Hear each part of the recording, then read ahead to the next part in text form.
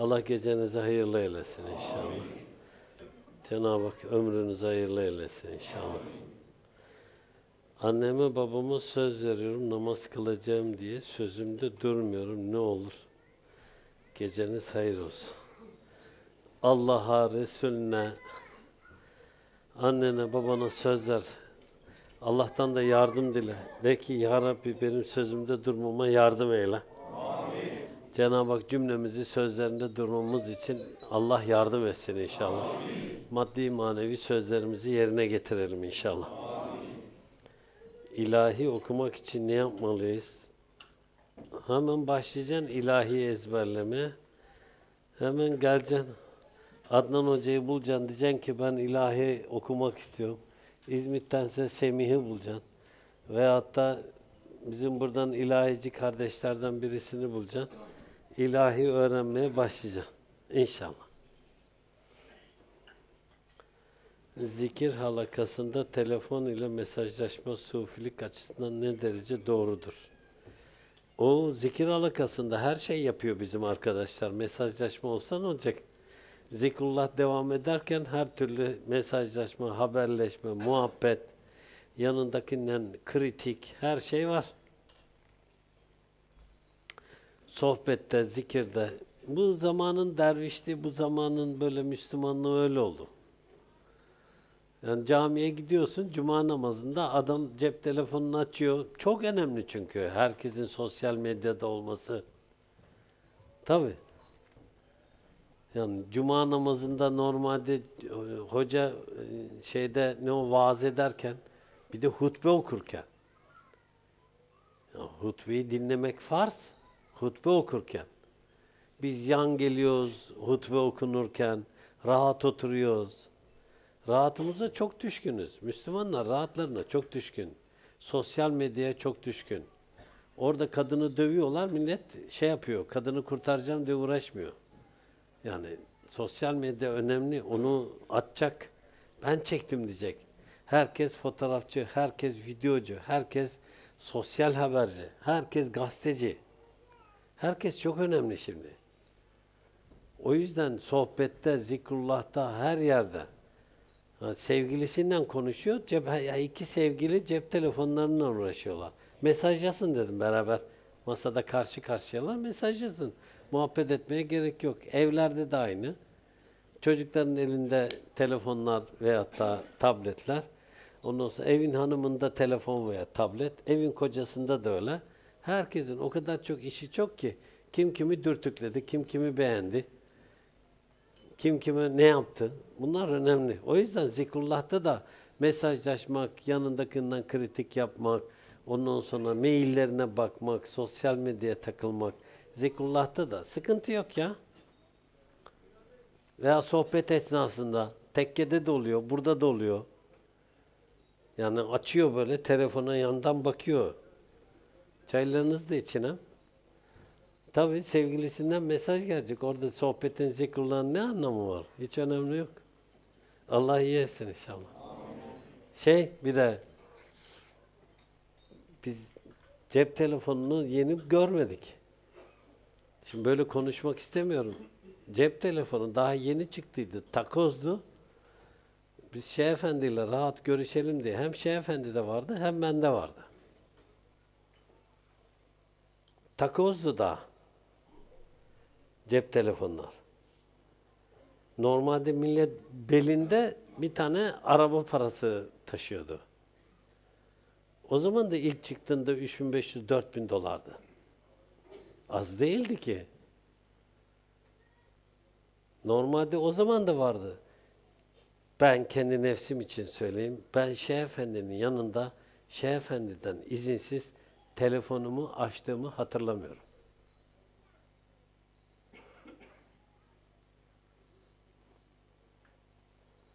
Oho şimdi herkes her şey yapıyor. E Şeyh Efendi'nin yanında birisi telefonunu açsın, baksın. İşte selamun aleyküm, aleyküm selam, şöyle yapsın. Şeyh Efendi böyle bana bakar. Hani bu nereden geldi? Bizim hamdolsun benim etrafımdakiler hiç öyle bir şeyle karşılaşmadım ben. Bizim Bursa'daki arkadaşların yüzde sekseniyle öyle karşılaşmadım. Benim yanımda hiç yapmadı kimse. Yani benim yanımda derken Şeyh Efendi'nin yanındayken ben hiç kimse yapmadı. Beni kimse bu konuda arkadaşlar utandırmadılar. Yüzde sekseni. Ama başka yerlerde olurdu. Bir, mü- bir müddet sonra o adam daha oturuyor ya, Şeyh Efendi'nin tarzı şuydu. Evladım sen işine bak hadi. Senin işin çok, sen işine bak. Efendim ben işlerimi ayarladım. Böyle bakar. Hadi oğlum sen işine bak dedim ya sana. Bu yavaşça gitmek zorunda kalır. İşin varsa ne işin var şeyhin yanında bak işine. İşin sıkıntılı bak işine kardeşim. Şeyhin yanında ne işin var? Telefonda görüşeceksen çık yanından dışarı git. Görüş. Nerede görüşüyorsan görüş.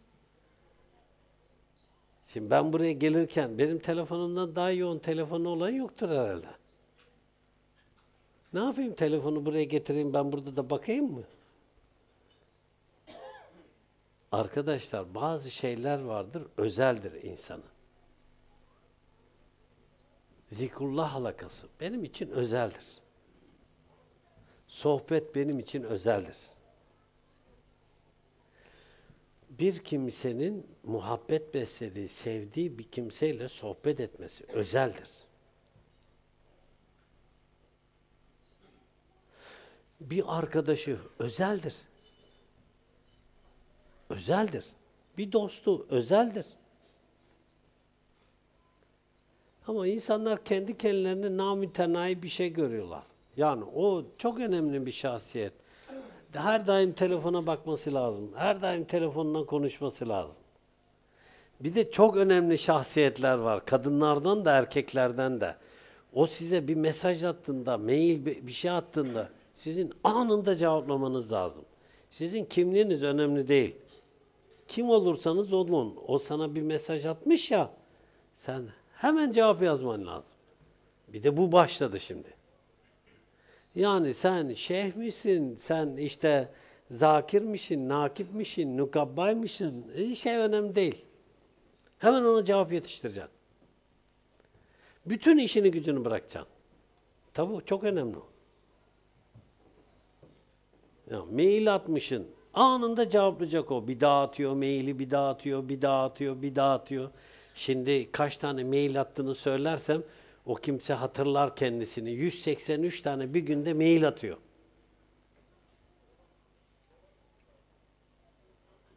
Tabii. Yakalamış seni.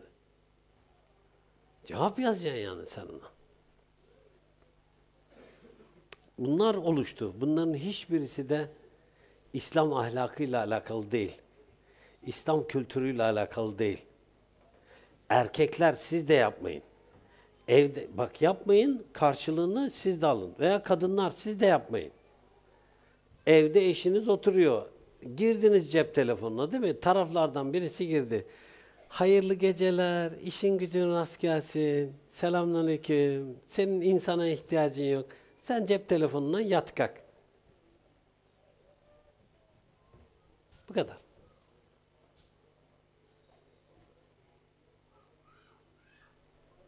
Benim gelse ben, benim arkadaşım ne bileyim işte birisi ben sohbet ediyor olsam yani ikide bir de cep telefonundan yok maile bakacak yok Facebook'una bakacak hadi işin gücün rast gelsin derim ben. Benim yanımda kimse yapmıyor Allah razı olsun yani. Ben derim. Sözümü de esirgemem. Şimdi çalışan bir kimse vardır. Gündüz mesaisi vardır. Gelmiştir benim yanıma. Ben ona derim telefon çalıyordur. Bak telefonuna. Neden? İşini aksatma. Tüccardır o kimse. Bir şey danışmaya gelmiştir. Bak telefonuna. Anında bir mal vereceklerdir, mal alacaklardır. Onun teyidi lazımdır. Baksın çok uzun konuşmasına gerek yok. Örneğin. Ama öbür türlü la ilahe illallah gerek yok. Hele zikrullah alakasında, hele dergahta, sohbette, bu şeyde daha fazla oluyor. Ne o? Tekkede. Tekkede şimdi derviş olmayanlar da geliyor ya, onlar da cep telefonlarını açıyor. Bizimkiler de onlardan özeniyorlar. Arada kayarız diye düşünüyorlar. Görüyor mu işte? İşin en ilginç noktası bu. Yani gözlerim günden güne görmeyeceğine günden güne iyileşiyor. Görmeye başlıyor. Allah bizi yesin. Kur'an kursuna gidiyorum. Kursta her gün neredeyse Kur'an kursu yapımı için para isteniyor. Kursta hocamız sürekli meal okuyan, tefsir okuyan, okuyun diyor. Hadis okumak ve okuyun demek yok. Hocam hadis okuyalım dedim. Müfredatta yok dedi. Peygamberlerin zellelerinden bahsetti. Muhammed Mustafa sallallahu aleyhi ve sellem hazretleri için de zellesi olduğunu örnek olarak da Ümmü Mektup hadisini söyledi. Bu konularda bizleri bilgilendirebilir misiniz? Allah razı olsun. Öyle onların müfredatlarında hadis-i şerif okumak yok. Allah bizi affetsin. Ben Ümmü Mektum meselesinde de Hazreti Peygamber sallallahu aleyhi ve sellem hazretlerinin zelleye düştüğünü kabul etmiyorum. Bütün peygamberlerde zelle görüldü. Evet, Hazreti Peygamber sallallahu aleyhi ve sellem hazretlerinde görülmedi. İmam Maturidi'nin çizgisinde İmam Maturidi, İmam Hanefi, İmam Muhammed, İmam Yusuf ve aynı zamanda da akaid olarak İmam Maturidi, İmam Nesefi, Sabuni bunlar önemli kimseler. En azından İmam Maturidi ile Nesefi önemli kimseler. Bu çizgide olan kimseler Hazreti Peygamber sallallahu aleyhi ve sellem hazretlerinin üzerinde zellenin olmadığına dair hükmetmişler. Bunların geniş açıklamaları var. Bu son dönem, bu e, 150-200 yıldan beri Hazreti Peygamber sallallahu aleyhi ve sellem hazretlerinin üzerinde biraz masumane olanlar, zelli olduğunu söylüyor. İşi haddini aşanlar, terbiyesizliğe, ahlaksızlığa, südü bozukluğa götürenler Hazreti Peygamber sallallahu aleyhi ve sellem hazretlerinde günah işlediğini, Allah'ın onun günahını affettiğini söylüyorlar. Ben onları normalde dediğim gibi nitelendiriyorum. Allah bizi affetsin. Namaza yeni başlayan arkadaşım zikrullah hakkında anlamsız cümleler kuruyor, inkar ediyor. Nasıl davranmalıyım? Yavaş yavaş namaza yeni başlayan bir kimseye zikrullah'tan bahsetmenize gerek yok. Bu şuna benziyor. Ya normalde yeni bir doğmuş çocuğa anne sütü vereceksiniz. Yani o çocuk Hazreti Mevlana'nın dediği gibi yavaş yavaş büyüyünce ekmek isteyecek. Biraz daha büyüyünce süt isteyecek. E, pardon et isteyecek. O şimdi süt zamanı. O yüzden sufilik zaten yeni doğmuş bir çocuğun işi değil. Şimdi bir kimsenin ben onu istidat olarak demiyorum. Muhyiddin İbn Arabi Hazretleri onu istidada bağlıyor direkt. Muhyiddin İbn Arabi Hazretleri diyor ki bir kimsenin dervişlikte, sufilikte istidadı var ise ancak öyle derviş olur. Ondan sonra sufi olur. Eğer istidadında dervişlik, sufilik yoksa bir zaman dervişlik, sufilik yapsa da o normalde sonradan o dervişlikten, o e, sufilikten vazgeçer veya da oradan düşer veya oradan ayağa kayar gider der şey. Muhyiddin İbn Arabi. Hatta bunu bir de şey olarak, hadis-i şerif olarak nitelendirir. Hani bir kimse mümin doğar, mümin yaşar, kafir ölür. Mümin doğar, kafir yaşar, mümin ölür. Bununla, buna bağlar hadis-i şerif olarak da. Veyahut da işte bir hadis-i şerif daha var ya, hani bir kimse salih bir amel işler, işler, işler, ömrünün son deminde öyle bir yanlışlık yapar, o küfür olarak üzerinde küfür olarak ölebilir. Bir kimse küfür bir hayat yaşar, ömrünün son döneminde öyle bir iş yapar, o kimse iman ederekten göçer gider. Bunları buraya bağlar. Yani o kimsenin der istidadı mümin ise o istidadı e, nispetinde müminliğini yaşar. O kimsenin sufilik noktasında istidadı var ise o sufilik noktasında yaşar. Ama istidadında sufilik yok ise bir müddet sonra yaşamış olsa da eder. Şimdi Çanakkale'liler bu mevzuyu daha iyi e, şey yapacaklar. Ne o? Hatırlarlar istidat meselesini. Sohbet ettiydik orada Arabi'den konuşurken. Zannediyorum şey Adem'den sonra şit faslında mıydı neydi? İstidatla alakalı. 4-5 kere geçti. Hep böyle anlattık bunu orada. Ondan sonra normalde aslında o e, Çanakkale'deki e, Muhyiddin İbn Arabi'nin füsus sohbetlerini bütün dergahın iyi dinlemesi lazım. Yani orada sadece Arabi'yi anlatmadık çünkü. Orada normalde hani Arabi'den pasajı aldık ama bizim görüşümüz de budur. Veyahut da bunu böyle kabul ediyoruz deyip e, öyle yürüdük. Çünkü orada normalde tabiri caizse e, bizim sufi anlayışımızın temeli var orada. Öyle söyleyeyim. Sufilik anlayışımızın temeli. Yani orada sadece Arabi konuşulmadı. Veyahut da şimdi bugün dağıtacaklar ya mesela şey olarak, kitap olarak. Normalde o e, şeyin bizim e, Hakan kardeşin sorularına cevaplar ama yani o sadece sorulara cevap değil. Bizim bu noktada duruş noktamız yani hem akaid noktasında hem sufilik noktasında hem mezhep meşrep noktasında bizim duruşumuzu anlatan bir nokta, bir eser öyle söyleyeyim. Eser demeyeyim de bir risale veya bir kitapçık diyelim. Yani çok iddialı değiliz bu noktada. O yüzden mesela e, şeyin e, Çanakkale'deki e, Muhyiddin İbn Arabi sohbetleriyle şu kitap bizim bu noktada hatta Mesnevi şerhleri de bunu böyle cem edersek bizim tasavvuf noktasında duruşumuz akaid noktasındaki akaid noktasında duruşumuz da bizim bu noktada aynamız gibi, göstergemiz gibi veya delilimiz gibi. Şimdi Muhyiddin İbn Arabi, Arabi Hazretleri istidada çok önem verir. Ama onun o bakış açısını tam algılayamayan insan o istidat meselesinden e, şeye düşebilir, cebriye düşebilir. Hatta bir kısım Arabici bir müddet sonra onları düzgün analiz edemezlerse yanında Arabi'yi anlayacak, yol haritasını çizecek veyahut da o meselede ona şerh edecek, onu dizayn edecek bu noktada bir kimse bulamazlarsa onların büyük bir çoğunluğu füsusu okuyanlar hatta fütuhatı okuyanlar cebriyeye düşerler. Ve başlarlar cebriyeden yürümeye. Allah muhafaza eylesin. O yüzden iyi analiz edilmesi lazım. Aynı şey Mesnevi için de geçerlidir. Hazreti Mevlana Celalettin Rumi Hazretleri için de geçerlidir. Onu düzgün okuyup analiz edemeyen. O yüzden bu kitaplar zaten dergahlarda, tekkelerde herkese okutulmamış. Mesela Mesnevi okumak için üstattan izin alınması gerekiyor.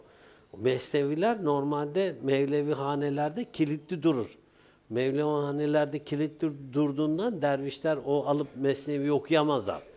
Şimdi tabii herkes okuyor. Kendi kafasından bir mesnevi çıkarıyor da normalde okuma icazeti olması lazım. Şerh icazeti olması lazım o kimsenin.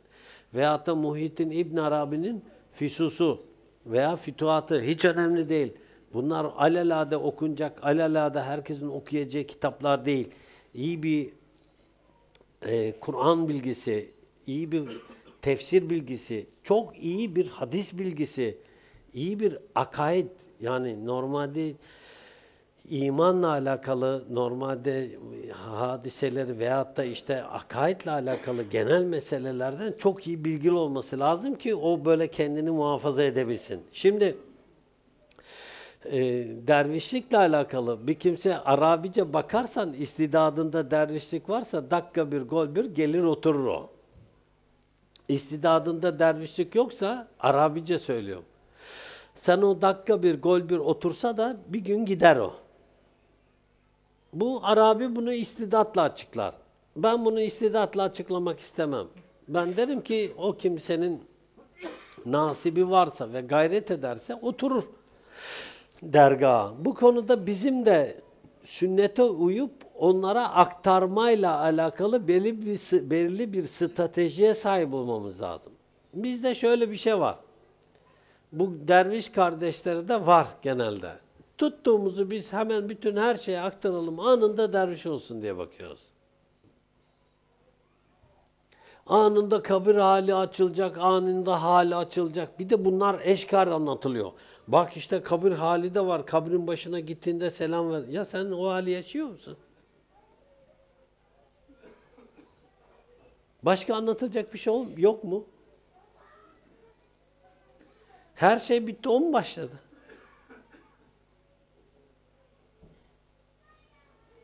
Veya aşırı derecede şeyhi methetme. Otur oturdun yere ya. Gerek yok. Methedilecek bir zat varsa o da Hz. Muhammed Mustafa'dır. Sallallahu aleyhi ve sellem. Tanıtılacak bir kimse var, varsa odur. Hazreti Peygamber'dir sallallahu aleyhi ve sellem. Ölçüyse Hazreti Peygamber'dir sallallahu aleyhi ve sellem. Biz onu anlatalım. Biz ona doğruyu, iyiyi, güzeli tebliğ edelim. O yolunu bulur o. O yolunu bulur. Bir de anlatıyorsun. Biliyor musun ki dervişlik var mı yok mu nasibinde? Dakika bir gol bir keletirden kafasından aşağı indirir gibi indiriyorsun. Allah bizi affetsin. Ve hatta adam daha yeni o kimse daha o, o kadın erkek önemli değil. Yeni daha bir şeyle tanışmış, dinle tanışmış. Gerek yok. Veyahut da yeni bir yere gittiniz. Hemen orada cehri zikrullah. Üç kişi zikrullah yapacağız diye uğraşıyorlar. Bırak kardeşim. La ilahe illallah, la ilahe illallah. Tamam bitti. Veya bazı yerlere gidiyorum ben. Hoş, çok yere gidiyorum. Gittiğim yerlerde 10 kişiler, 5 kişisi ilahi okuyor.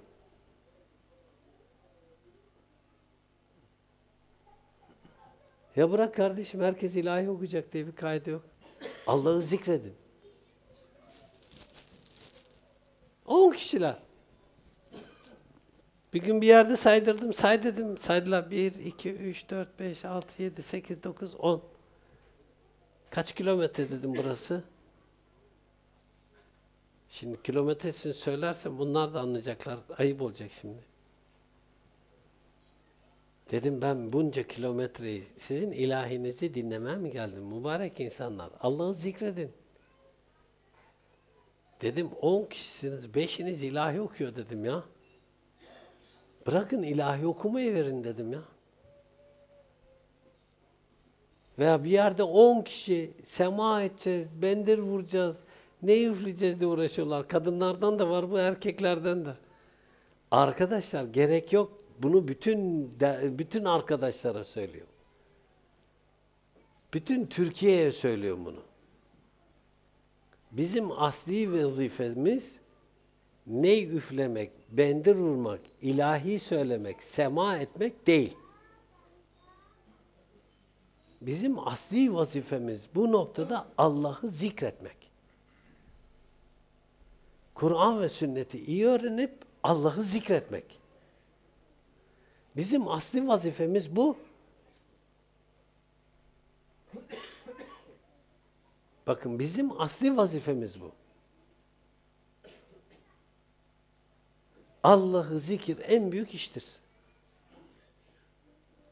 Bizim asli vazifemiz bu. O yüzden Bursa, çevre, diğer il ve ilçeler herkese söylüyorum. Asli vazifenize dönün. Asli vazifeniz. İnsanları normal, evet bendirde vurulur, semada olur, neyde olur, eyvallah.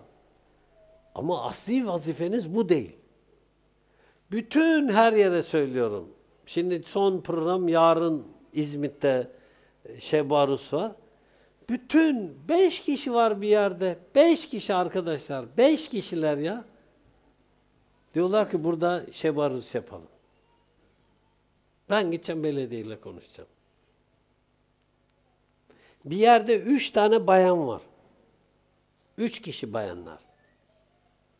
Telefon açıyor. Burada şey baruz yapabilir miyiz diye.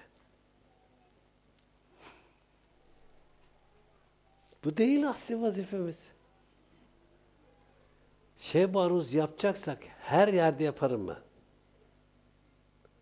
Kendim bizatihi yaparım. Ne bir belediyeye ihtiyaç var, ne valiliğe ihtiyaç var, ne devlete ihtiyaç var, ne de başka bir şeye ihtiyaç var. Hiçbir şeye ihtiyaç yok. Bursa da dahil buna. Hiçbir şeye ihtiyacım yok. Hiçbir şey. Asli vazifemiz bu değil ama. O yüzden hani şeyden çıktı. Ee, söyleyiver şunu. Zikrullah'ı anlatmaktan çıktı. O yüzden evet yani yavaş yavaş ısındıra ısındıra inşallah. Mevlana Celaleddin Hazretleri'nin kitabı İran Şahı tarafından çalındı mı? Çalındıysa nasıl alındı? Vallahi ilk defa duyuyorum ya. Ama şehir efsanesi var.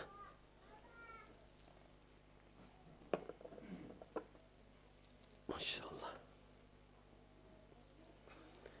Peygamberimiz sallallahu aleyhi ve sellem abdest alan saat yanına uğradı da bu israf ne dedi? Saat abdestte israf var mıdır buyurdu.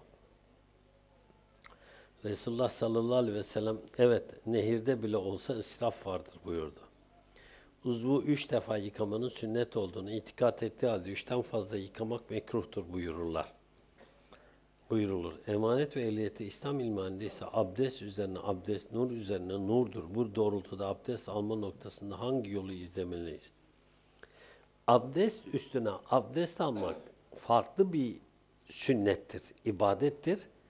Abdest uzuvlarını mesela üçten fazla, hoş beş de yıkanabilir. Onun hakkında da hadis var. Yedi de yıkanabilir. Onun hakkında da hadis var. Ama işte böyle e, vesvese derecesinde abdest uzuvlarını daha fazla yıkamak o zaman o e, söz konusu olan israfa giriyor. Abdest üzerine abdest almak, nur üzerine nur bir kimse öğlen namazını kıldı, abdesti duruyor da. İkindinin vakti geldi. İkindinin ikindi kılmazdan önce o abdestini bozmadan onun üzerine bir abdest daha almak bu sünnettir. Bu israfa girmez.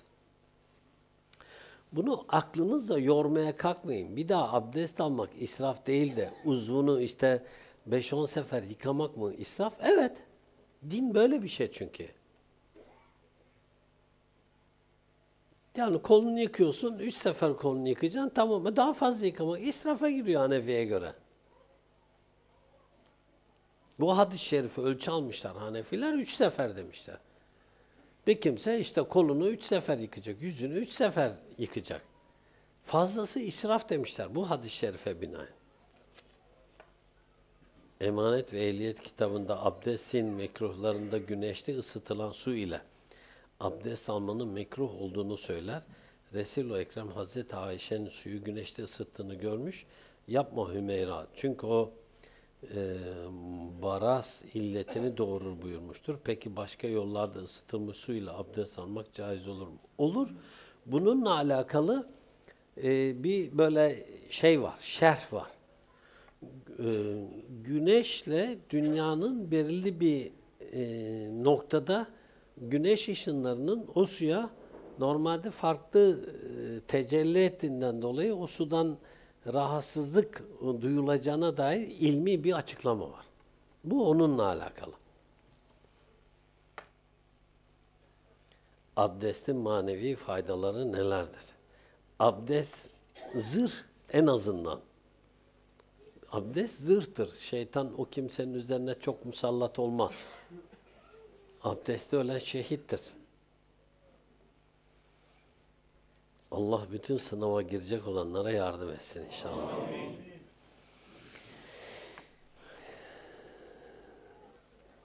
Elli beşinci hadis. Ebu Said el-Hudri anlatıyor. Resulullah sallallahu aleyhi ve sellem mescitte itikafa girmişti. Oradakilerin cehri olarak Kur'an okuduğunu işitince oradakilere perdeyi açtı ve şöyle dedi. Dikkat ediniz. Hepiniz Allah'a münacatta bulunuyorsunuz. Bir kısmınız bir kısmınıza eziyet etmesin. Bazınız diğerlerine Kur'an okurken veya namazdayken sesini yükseltmesin. Şimdi buradan bir kimse kendince çok edep çıkarır. Bir demek ki Hz. Peygamber sallallahu aleyhi ve sellem Hazretleri itikafta itikafta ne yapılıyor? Allah zikrediliyor ve namaz kılınıyor. İtikafın en önemli iki ibadeti vardır. Birisi zikirdir, birisi namazdır. O yüzden mesela bir kimse itikafa girse namazsız itikaf olmaz diye hüküm vardır. O kimse namaz kılmalı. Mesela kadınlar o muayyen zamanlarında o yüzden itikafa giremezler. Örnek. Şimdi namaz itikafın olmazsa olmaz ibadetleridir. E, zikir de itikafın olmazsa olmaz ibadetleridir. Sahabe Peygamber sallallahu aleyhi ve sellem hazretleri mescitte itikaftayken dışarıda Kur'an-ı Kerim okuyorlar. Dışarıda. Kur'an-ı Kerim okurlarken seslerini yükseltiyorlar. Kur'an-ı Kerim okurken sesleri yükseltince Hazreti Peygamber sallallahu aleyhi ve sellem hazretleri müdahalede bulunuyor. Diyor ki kiminiz Kur'an-ı Kerim okur, kiminiz ne ibadet ediyorsa diğerlerini rahatsız etmesin. Bir kimse ibadet ederken bir başkasına eziyet etmesin. Şimdi bir, bunda sesli zikir men edilmemiş. Bir kimse hani sessiz zikrullah yapabilir mi? El cevap yapabilir. İki, camilerde Kur'an-ı Kerim okuyanlar seslerini çok yükseltmeden okuyacaklar namaz kılanları etkilememek için. Camilerde Kur'an-ı Kerim okuyanlar bir başkası duysun diye uğraşmayacak. Sebep camilerde namaz kılıyorlar. Camilerde Allah'ı zikredecek olanlar namaz kılanları etkilemeyecek zamanlarda ve saatlerde zikir halakası kurmaları lazım.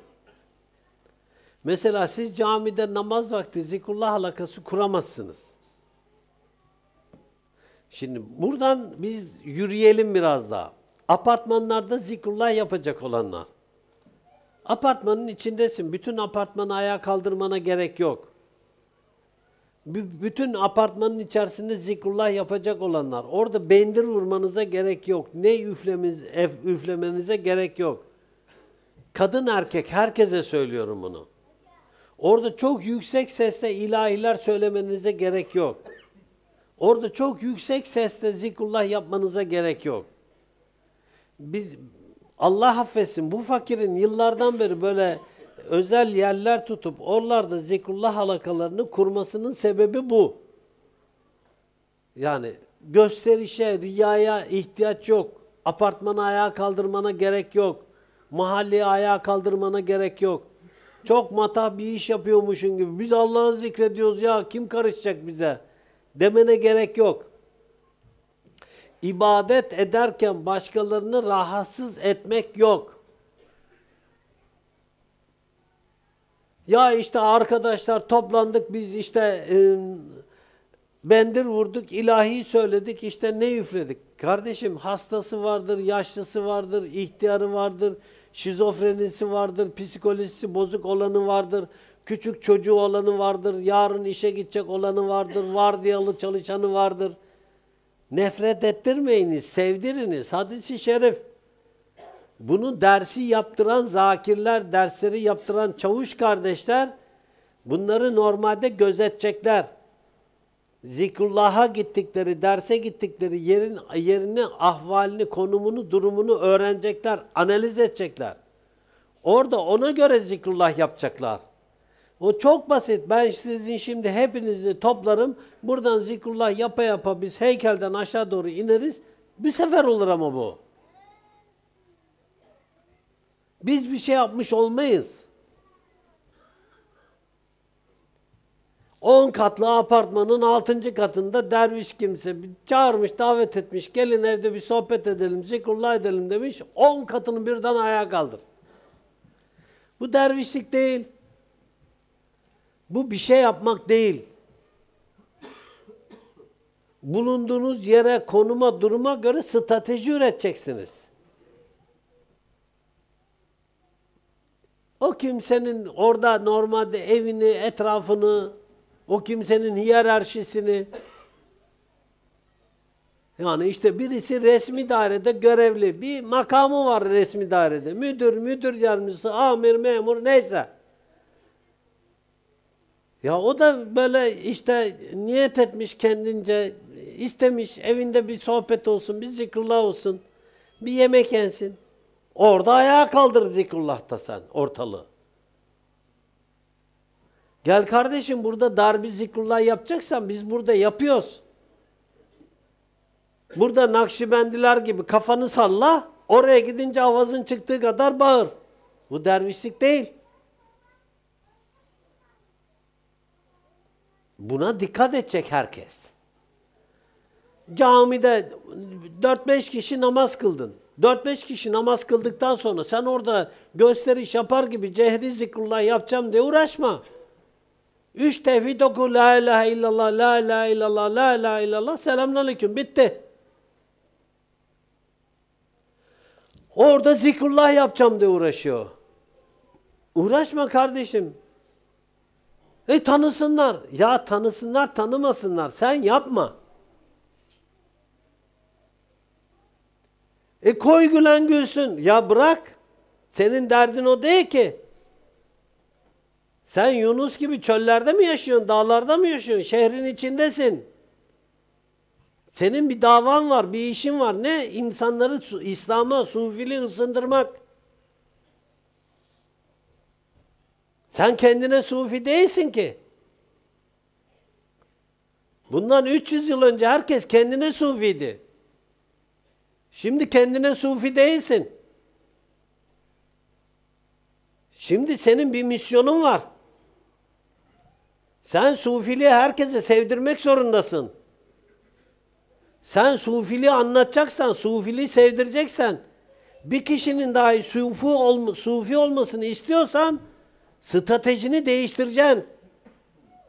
Öyle paldır küldür, eşekte paldım ben sen aldım, yok öyle sufilik. Olursa olur ya, iyi ben sana da olursan olur, ol diyeyim o zaman. Öyle bir şey yok.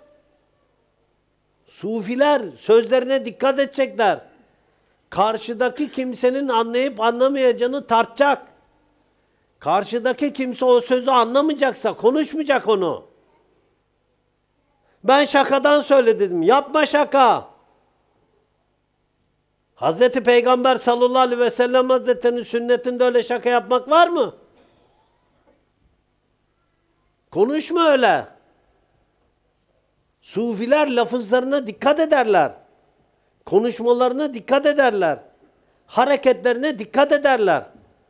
Biz sevdirici olalım. İnsanları yokuş yukarı gösterip daha bakalım çıkabileceğim mi çıkamayacağım mı? Buna gerek yok. Size yokuş yukarı gösteren bir dervişlik anlatmıyorum. Yokuş yukarı dervişlik anlatırsam buranın yüzde sekseni gider. Size yapılmayanı siz de bir başkasına yapmayın. Size yokuş yukarı vurulmuyorsa siz de bir başkasını yokuş yukarı vurmayın. Kelimelerinizde dikkat edin, sözlerinizde dikkat edin, tarzınızda dikkat edin, tavrınızda dikkat edin. Hal ve hareketlerinizde dikkat edin. Zakirlerden, çavuşlardan, dervişlere kadar. Herkes. Bir şaka yaparsam incinebilir mi? Kırılabilir mi? Bir laf söylersem bunu anlamazsam ters tepebilir mi? Hep geçmişten örnekler veririm ya. Anlatıyorum ya. Nazilli'ye gittim, geldim, gittim, geldim, gittim, geldim. 35-40 kişi oldu Nazilli'de. E, Şeyh Efendi'yi götüreceğim. Bizim bir hacı abimiz vardı. Ben de geleceğim dedi. Allah'ım götürmek istemiyorum onu. Geleceğim dedi. Anladı Şeyh Efendi götürmek istemedim. Olsun Mustafa Efendi gelsin oğlum dedi. Ben sustum. Gittik. Şeyh Efendi sohbete başladı. Böyle bir kahve içiyor, bir su içiyor, bir şey oluyor. Bakın kardeşlerim, araya giriyor. Bir şeyh konuşurken araya girilmez. Soru dahi sorulmaz. Bir zakir konuşurken araya girilmez. Soru dahi sorulmaz. Velev ki yanlış konuşsun. Sus, otur oturdun yere. Sana mı sordular yanlış mı doğru mu diye? Sonra git abi böyle değildi ya böyle dedi. Sonra git Şeyh Efendi'ne de efendim hakkınızı helal edin öyle değildi böyledi de. Araya giriyor. Anlattığı dervişliğe bakın arkadaşlar. Sabah namazından iki saat önce kalkarsın. Bir cüz Kur'an-ı Kerim okursun. Ondan sonra bir müddet tevhid-i şerif getirirsin okursun. Sonra sabah namazını kılarsın. Sabah namazından sonra bir müddet daha beklersin. Allah'ı zikredersin. Sonra işrah namazı kılarsın. Hafif bir kaylüle yaparsın. Ben böyle ara ara anlattığını toparlıyorum şimdi. Ondan sonra kalkarsın. Sonra duha namazı kılarsın. Ardından duha namazından sonra bir miktar daha Kur'an-ı Kerim okursun. Sonra öğlen namazı, öğlen namazından sonra kalkar bir dolaşırsın, derviş ziyareti yaparsın. Sonra ikindi, ikindiden sonra bir müddet yine zikrullah yapar, Kur'an-ı Kerim okursun. Akşam namazı, akşam namazından sonra evvabin kılarsın. Dünya kelamı konuşmadan evvabin kılarsın. Ondan sonra bir müddet daha zikrullah yaparsın, yatsıyı kılarsın. Yatsıdan sonra oturursun, dünya kelamı konuşmadan dersini çeker, virdini çeker, çeker. Az bir şey kaylüle yapar, sonra teheccüde kalkarsın.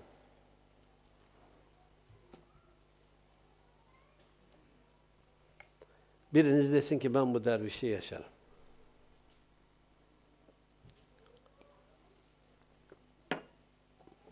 O yaşardı, karı koca emekliydi, ev kirası vermiyordu, elektrik su parası vermiyordu. Odun kömür parası vermiyordu.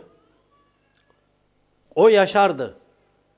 Ödemiş'in köyünden bir tane adam bulduydu. Ondan ıspanağı, pransası, lahanası gelirdi. O yaşardı. Her sabah odun kömürünü Mustafa Özbağ değiştirirdi sobasından.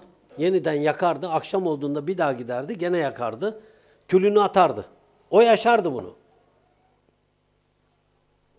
O böyle bir dervişlik yaşardı. Ama bir tane derviş yapamazdı hiç kimseye. Çünkü onu dinleyen hiç kimse dervişliğe göz alamazdı. Ve 40 kişi 42-43 kişi sohbet ettim, zikrullah yaptığım yerden bir kişi ders almadan çıktık.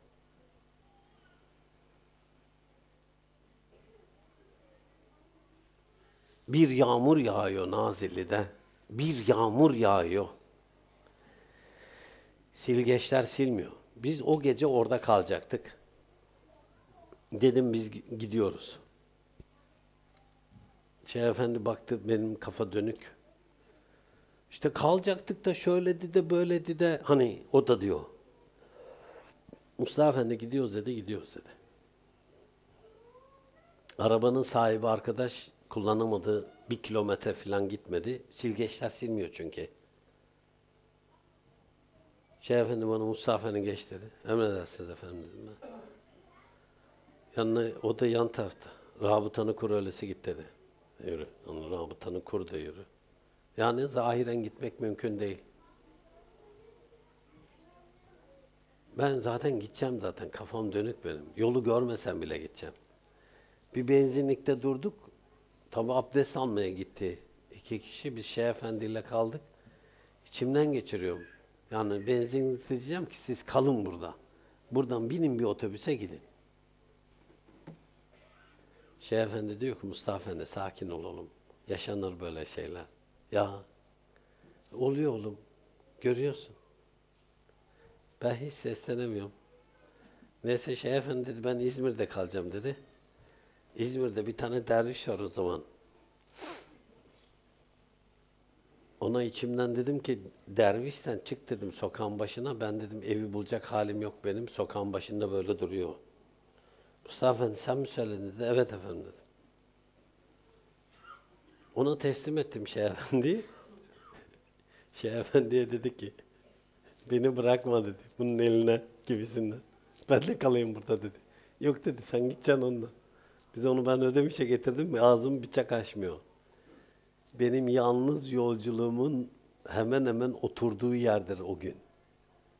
Ben bir daha yanımda hiç kimseye götürmedim uzun müddet. Hala da yanımda kolay kolay birisinin gelmesini gitmesini istemem. İmtihan bu. Orada boşlukta bulunur. Bir laf söyler. Tiksinirim ondan. Açık, net mesajım. O yüzden derim ben Zakir, Çavuş hepsinde yanınızda götüreceğiniz insanlara dikkat edin. Konuşmasınlar, yemesinler, içmesinler, uyumasınlar. Kafalarını kaldırıp oraya buraya bakmasınlar. Bir şeye maydanoz olmasınlar. Fazla gülmesinler. Yemesinler dedim, yemeyecek fazla. Önüne koymuş gübür gübür gübür gübür yemeyecek. Zakir'in yanında mısın? Yemeyeceksin. Şeyhin yanında mısın? Yemeyeceksin. Yemeyeceksin. Şeyhin yemeği bıraktı mı? Sen de bırakacaksın. Zakir'in yemeği bıraktı mı? Sen de bırakacaksın.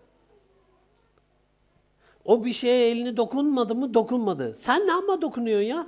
Dokunma. Dokunma.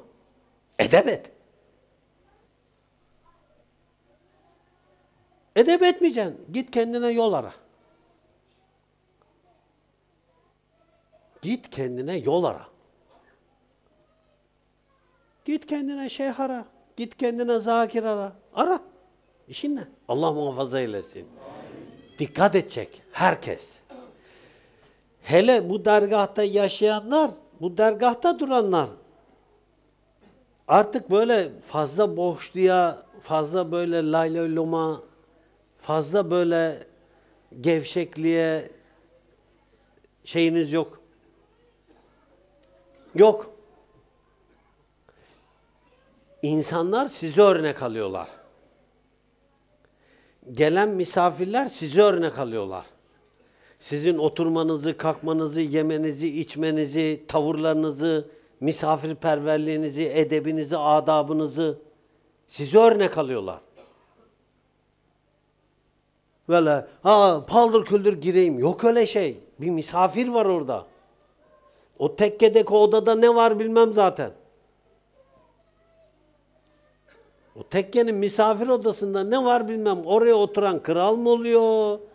Sultan mı oluyor? Ne oluyor belli değil. Ya burada bir misafir mi var? Burada şey efendi mi var? Burada bir üstad mı var? Burada kim var ya? Açan giriyor. Orada bir misafir var. Yani senin çağırmasını bilmiyor mu oranın sahibi? Ben hepinizle samimiyim. Burada samimi olmadığım hanginiz var ki? Yol yürümüşüz 30 yıllık, 25 yıllık, 20 yıllık, 15 yıllık, isterse 5 günlük olsun. Samimiyim ben onunla. Ben onunla samimiyim ama edep lazım. Dışarıdan şeyh efendiler gelmiş. Allah gerek yok. Gerek yok. Sen hizmet edeceksen orada gözümün gördüğü yerde, elimin tuttuğu yerde bekle. İçeride oturmana gerek yok. Onun söyleyeceği bir şey vardır, diyeceği bir şey vardır. Adam bana diyor ki sizinle özel bir şey görüşeceğim. Ben benim soyundum, giyindim odaya götürmek zorunda kalıyorum. Sebep? E, dolu etraf. O odada. Ben oturmuyorum orada. Herkes doluyor oraya. Ben bakıyorum dolu gidiyorum odaya oturuyorum ben. Kadını gelir, erkeğe gelir, kızı gelir, karı kocası gelir. Ben oraya randevu veriyorum millete.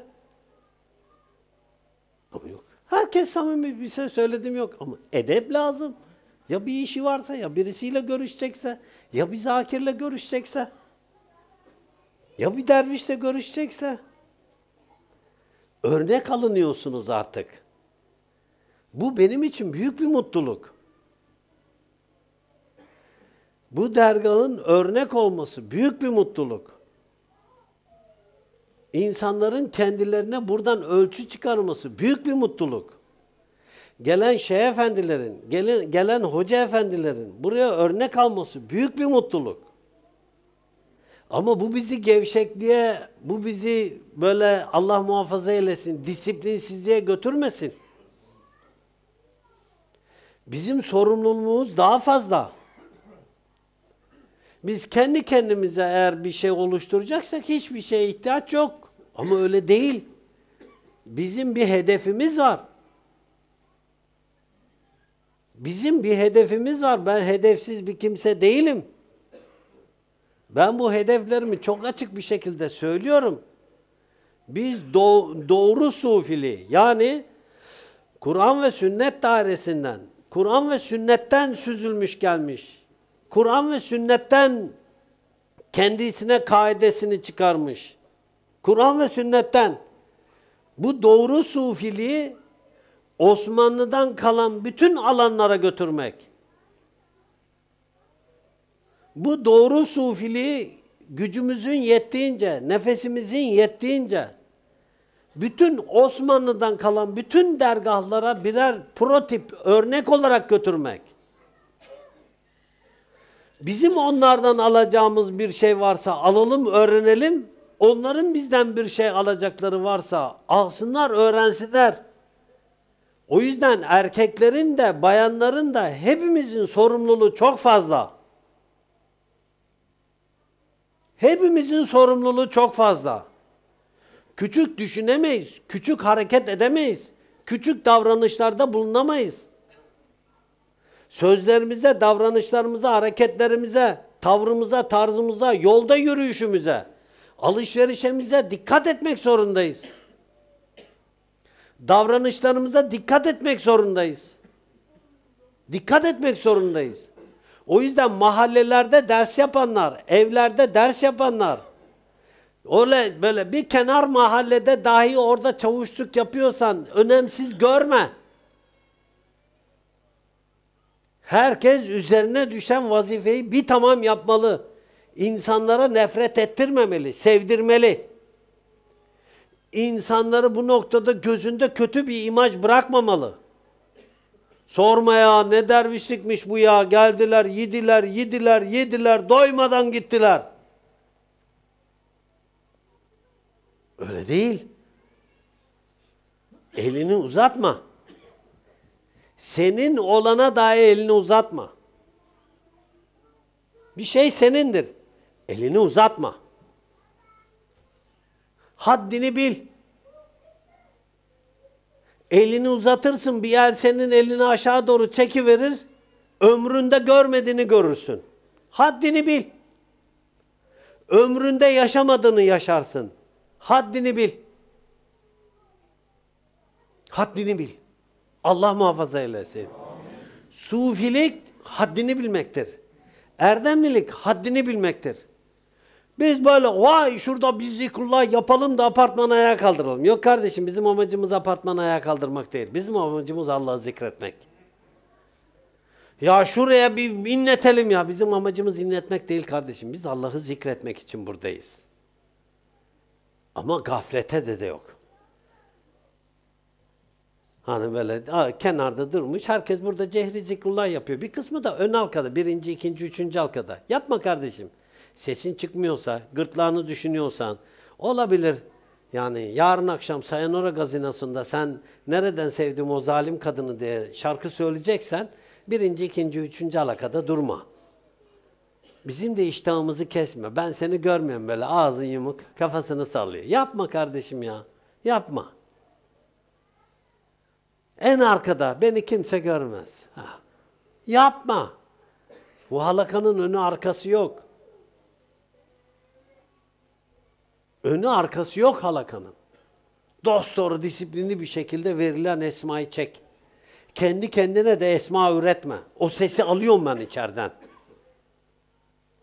Sen kendi kendine ses üretiyorsun. Evet, harika, başardın, nefsine uydunu gösterdin bana. Nefsine uydunu duyurdun bana.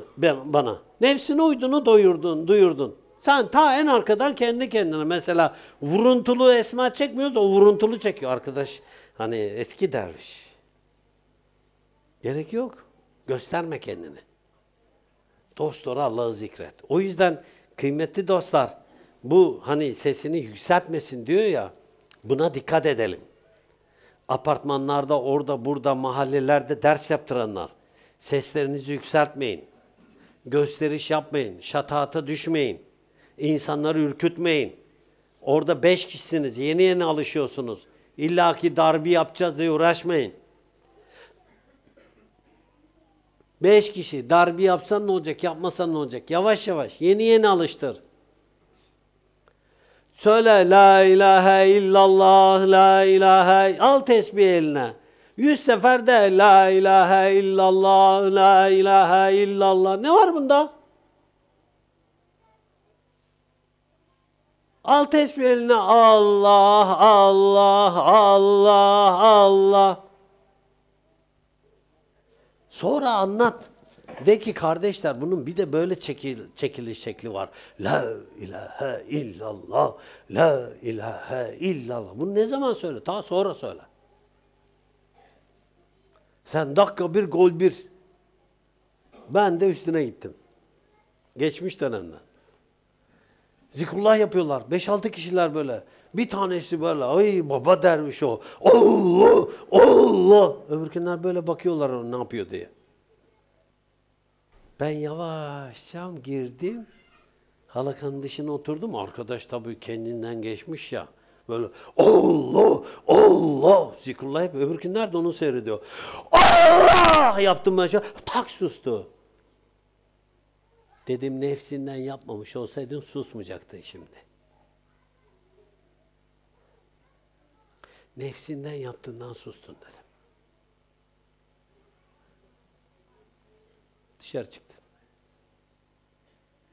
Gençlik ya. Şimdiki gibi değil. Arkadaşlar, zikrullahın adabı, erkanı böyle başlamaz. Bah, sıfırdan başladım anlatmaya. Dedim siz daha yeni arkadaşsınız. Böyle zikrullah dedim karşı karşıya kaldığınız için sizden özür diliyorum. Ama dedim siz yeni başladığınız için böyle başlayacaksınız. La ilahe illallah, la ilahe illallah. Birisi dayanamadı. Ya abi dedi böyle zikrullah'a can kurban dedi. Biz her hafta geliriz. Ha, siz her hafta gelin buraya dedim. O her hafta geliriz diyene bundan sonra dersi sen yaptıracaksın burada. Böyle yaptıracaksın dedim. Öbürkü çavuş. O geldi. Dedim sen bunlara çavuşluk yapmayacaksın. Git dedim nerede yapıyorsan yap. Bunlara yapmayacaksın. Ben çavuşum dedi. Bir laf daha söylersen çavuşluğun da kalmayacak dedim. Tık yok. Makam öyle bir şey. Adam sımsıkı sarılıyor çavuşluğuna. Evet, biz adabı, erkanı koruyacağız, muhafaza edeceğiz. Zikrullahlarda, evlerde, ne bileyim işte şehrin herhangi bir yerinde sesimizi yükseltmeyeceğiz. Kadın erkek. 5-10 tane bayan orada zikrullah yapıyorlar. Hepsi de bendir vuruyor. Yapmayın. Apartmanda bendir vurmak zorunda değilsiniz. Bendir çalışması yapacağız. Yapmayın. Apartmanı ayağa kaldırmak zorunda değilsiniz. Yapmayın. Hemen hemen her yerde kadınların da erkeklerin de toplanabileceği yerler var. Gidin orada çalışmalarınızı yapın. Haklarınızı helal edin. Bizden yana da helal olsun inşallah. Fâlemellehu la